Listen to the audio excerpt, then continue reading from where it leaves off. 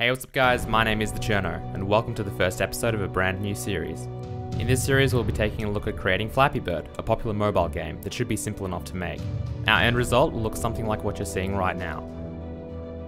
Let's talk a bit about the technology behind the game we'll be making. Firstly, this won't be a mobile game.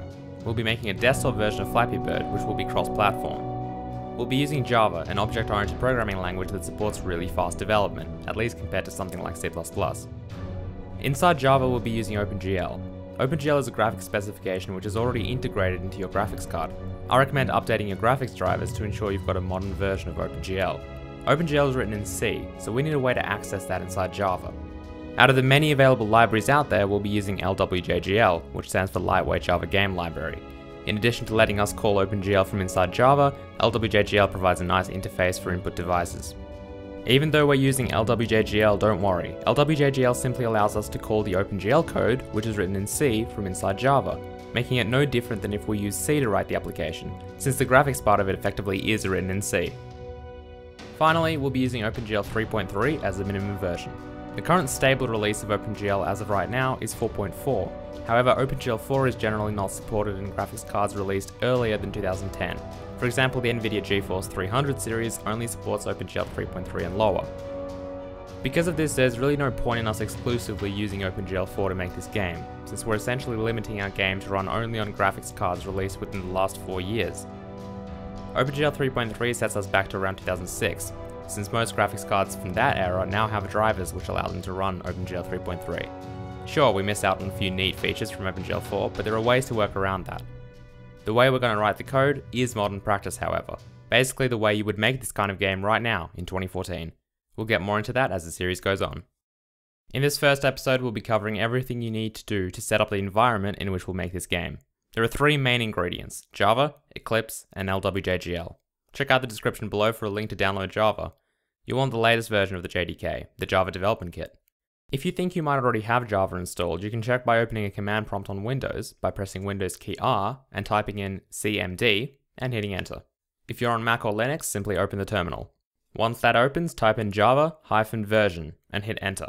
If your version is lower than 1.8, I'd recommend following along and downloading the latest version. Make sure you accept the agreement and download the appropriate version for your platform. Once downloaded, follow the prompts and install it. Next, we have Eclipse. Once again, check the description for a link. I'll be using Eclipse 4.4, codename Luna, for this series. Eclipse doesn't have an installer, simply unzip and place the main folder in a directory of your choice. I'll be placing it in a dedicated folder for this series. Once it's extracted, that's it, Eclipse is ready to use. Lastly, we'll need LWJGL, whose link is also in the description. Click on the latest version and go ahead and download it. As you can see, I'll be using 2.9.1 for this series. Once downloaded, simply extract it into a directory. I'll be placing it in our Flappy Bird folder, together with Eclipse. You'll also want to make one final folder here, called Workspace. This will contain our Eclipse workspace for this project. Basically, it'll contain our actual code, any resources, and the resulting binaries. Now let's walk through setting up Eclipse. Firstly, open it. If this is your first time opening Eclipse, you'll be asked to select a workspace. Go ahead and point it to the workspace folder we just made and check use this as the default. Once Eclipse opens, let's make a few changes to how it works. These changes aren't necessary, simply me setting up my workspace the way I like it. Let's open the Navigator by hitting Window, Show View, and Navigator.